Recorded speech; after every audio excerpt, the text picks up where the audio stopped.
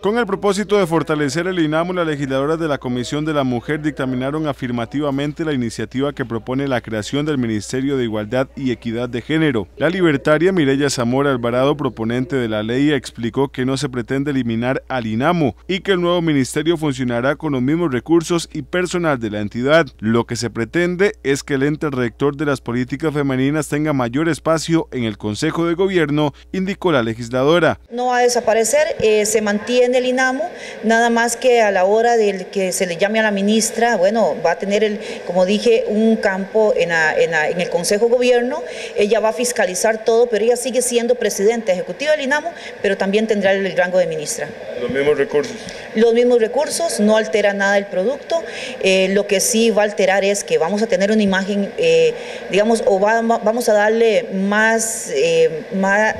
digámoslo así, como más fuerza al INAMO para que pueda tener, eh, digamos, más imagen. Zamora Alvarado agregó que la iniciativa surge tras la recomendación al país de otorgar rango de ministra a la presidenta ejecutiva del INAMO realizada por el Comité para la Eliminación de la Discriminación contra la Mujer de las Naciones Unidas.